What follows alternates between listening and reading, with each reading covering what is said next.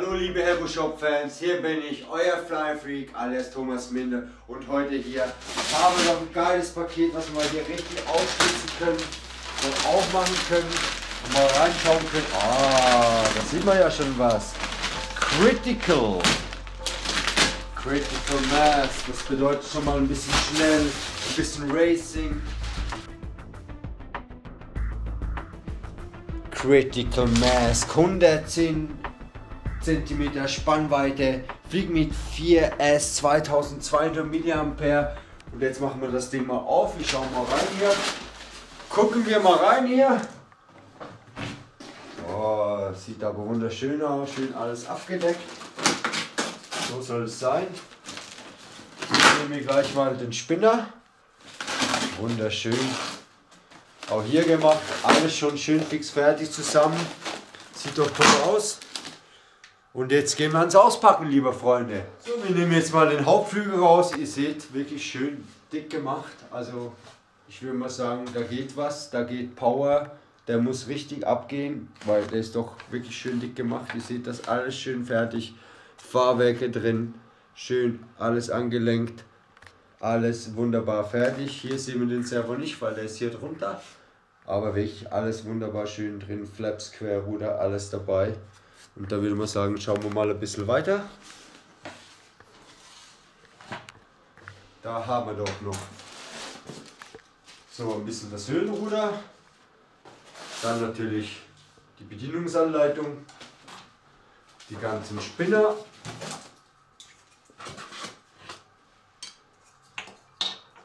Dann hier noch ein bisschen Kleinteile drin, glaube ich, so wie es seht. Jawohl, ein paar Schrauben. Dann kommen wir hier schnell zum schönen Rumpf. Wie eine geile Maschine. Seht euch das mal an. Wirklich wunderbar gemacht. Alles auch schon fertig. Spornrad dran, sogar mit der Abdeckung, die man zwar nicht schließen kann, aber super aussieht. Vorne können wir aufmachen. Pilot ist drin, alles ist da. Vorne alles schön fix gemacht. Da könnte sogar wahrscheinlich ein 3003 noch Platz haben und Pilot mit. Hier vorne seht ihr mit dem Display zusammen alles drin. Echt cool gemacht. So, und jetzt gucken wir mal weiter, was wir sonst noch haben.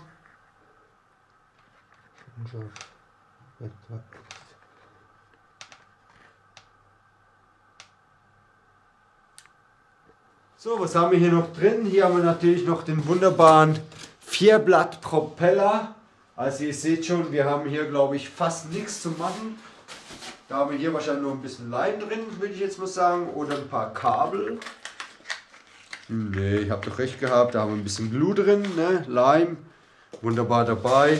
Hier ein paar Werkzeuge, ein paar Schrauben noch, wo wir ranmachen müssen. Und hier noch das kleine Carbonstängel. Das würde ich mal sagen, das ist für das Höhenruder.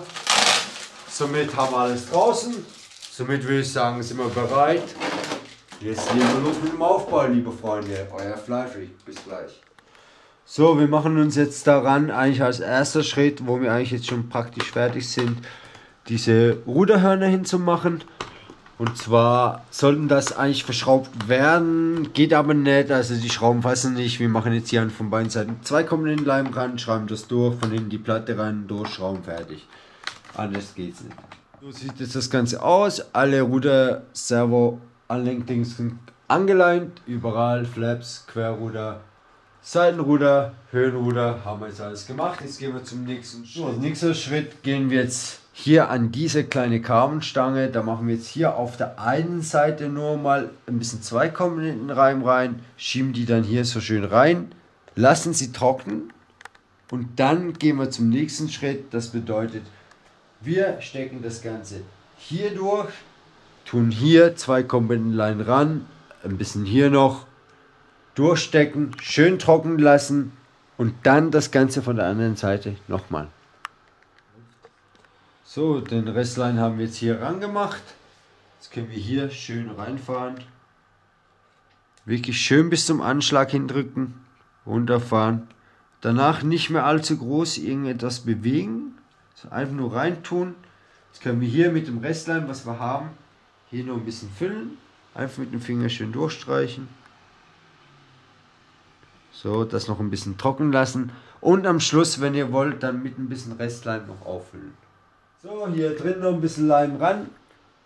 Könnt schön reingehen, einmal schön durchfahren. Bisschen schön fürs Drei. Es muss nicht absolut mega voll sein. Einfach so, dass es genug Leim dran hat. Könnt ihr wegnehmen. Die Hände schön abstreichen ne, vom fetten Leim. Und dann natürlich gucken, wie muss es passen. Hier muss es passen. Und dann nach unten einmal schön durchziehen.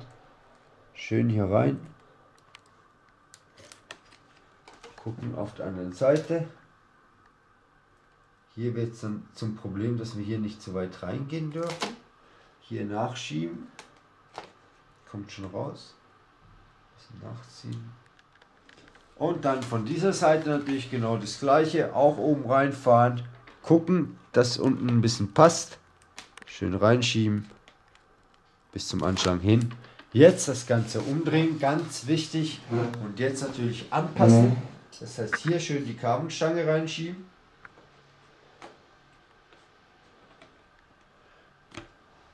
Jetzt kann man hier, damit es schön hingeht, auch schön passt, hier noch ein bisschen rausnehmen, ein bisschen nachdrücken,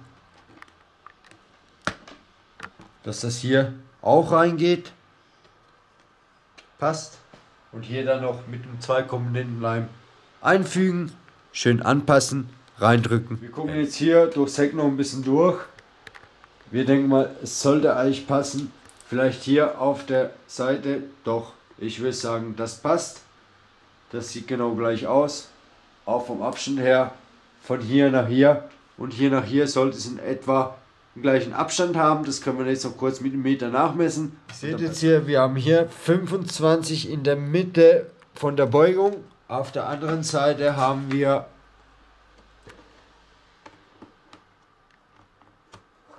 ebenfalls, ja nicht ganz, wir können hier noch ein bisschen klein reindrücken oder hier noch ein bisschen raus. Ja, 25 Grad.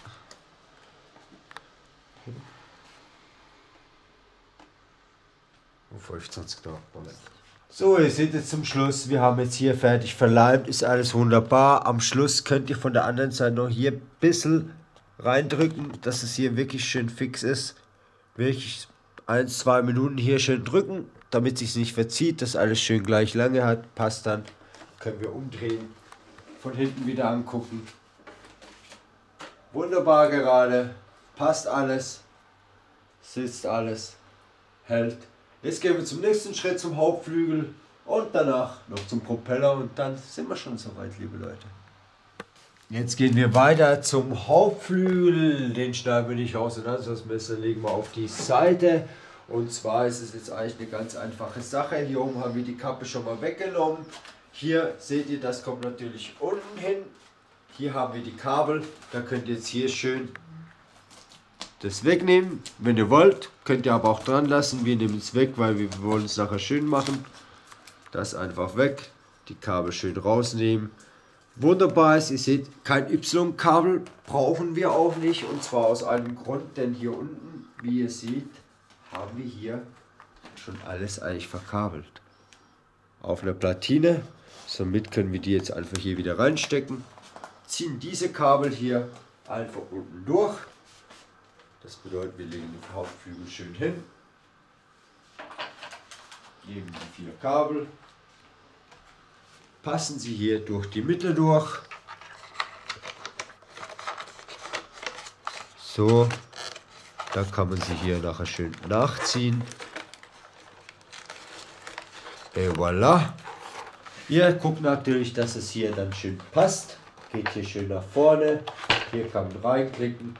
Das Ganze dann hier nach runter drücken. Natürlich zuerst schauen, dass alles schön passt. Reinmachen. Hier unten mit den Schrauben befestigen. Eins, zwei, drei, vier. Und das war's dann schon zum Hauptflügel befestigen. Wir zeigen euch dann, wenn es fertig ist. Bis gleich weiter. So, wir ziehen jetzt hier noch die letzte Schraube an. Hier auch noch ein bisschen nachfassen. Wir gucken, ob alles hält. Hält. Sieht doch mal schon ganz schick aus, oder? Jetzt kommen wir natürlich hier noch zum Propeller. Dann lassen wir natürlich noch das schöne Fahrwerk raus. mache die Anlenkstangen hin und dann kommt der kleine Test, ob alles funktioniert, ob der Motorensound auch geil ist und dann nächstes Mal seht ihr dann den Flug, liebe Leute. Bis gleich. Als nächstes gehen wir jetzt dran, den Spinner und den Propeller rauf zu machen. Dafür brauchen wir hier, ihr seht schön, haben wir hier so eine sechskantige Einkerbung, so wie hier auch. Also nichts einfacher als das. Einfach hier raufgehen, hinten gucken, passt, sitzt, sensationell. Wir nehmen den Propeller, drüber fahren, draufdrücken, passt. Wir nehmen diese Absperrung hier, drüber gehen, passt. Wir nehmen das hier, einfach schön nur hier raufschrauben, ganz locker. Ist richtig eine geile Sache. Einfach festdrehen, weil ihr könnt hier nichts falsch machen. Hinten schön an die Kerbung randrücken, hier schön anziehen. Könnt ihr auch noch zum richtig fest befestigen. Hier hat es ein kleines Loch. Ihr geht hier mit dem Schraubenzieher rein und zieht hier einfach noch ein bisschen nach. So. Nächstes hier Spinner raufgehen, Schraube nehmen, Schraube hier durchfügen. So, kommt hier hinten raus. Draufgehen und raufschrauben. Und schön reindrehen, bis sie fast. Dann könnt ihr euch hier schön loslassen und anfangen weiterzudrehen. So lange reindrehen, bis der Spinne dann ganz dran ist. Er mittet sich dann selber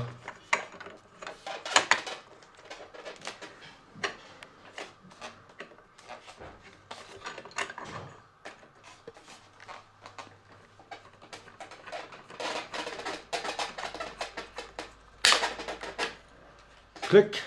Noch zweimal anziehen. Fertig ist der Propeller. So, wir gehen noch zum letzten. Wir gehen jetzt noch zum letzten Schritt. Das bedeutet, wir machen noch die ganzen Anlenkungen hin. Also als Flaps, Querruder, Höhenruder und Seitenruder. Und danach machen wir den Check. Yes.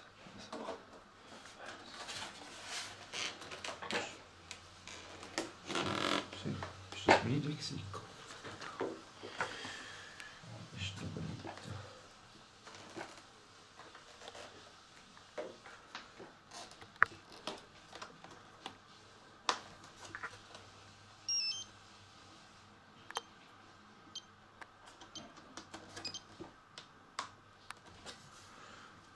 Critical.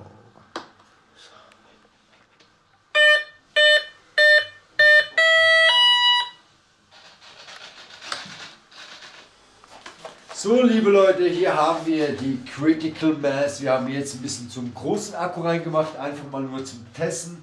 Und jetzt seht ihr mal ein bisschen das Ganze von aus. So, wir zeigen jetzt euch mal die ganzen Sachen, wie zum Beispiel die Flaps. Die müssen wir hier dann noch ein bisschen anpassen. Seht ihr, die sind noch nicht ganz drin, aber von Stufenmäßigkeit her passt das schon mal ganz gut. Wunderbare Sache.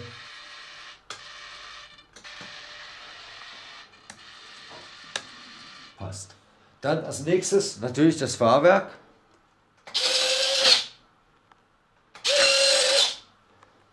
Passt wunderbar. Exzellent.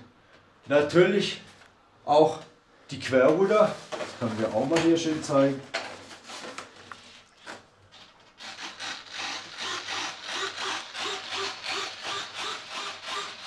Wunderbare Sache. Wie ihr seht, haben wir das Rad, um das auch noch einstellen zu können, habt ihr hier eine Schraube, hier mit der Motorschraube fixiert. Einfach kurz lösen, das Rad hinten schön fixieren und das Ganze wieder anziehen. Fertig. So, wir machen jetzt mal noch schnell den Kontrollcheck vom ganzen Flieger. Das heißt, wir schließen das Ganze hier mal schnell kurz an. Das passt. Wir gucken jetzt natürlich von hinten her mal hinein, ob auch die Querruder passen oder das Höhenruder. Jawohl. Seite passt auch. Wunderbar. Die Querruder passen auch. Und jetzt natürlich ganz cool, ne? die Flaps.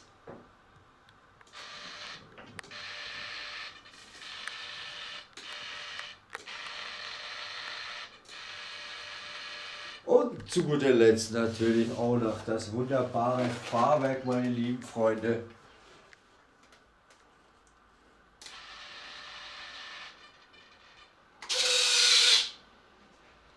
Und natürlich wieder raus.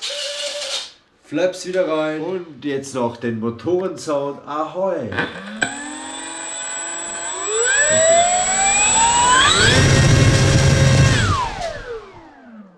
Geil! So, liebe Hebo Shop Fans, hier bin ich nochmal, euer Fly Freak. Danke an Hebo Shop selber für den Flieger. Und jetzt AC Helle Chat und ich sage noch euch, See you pilots. bis Danke, bald. Hebu. Ciao zusammen.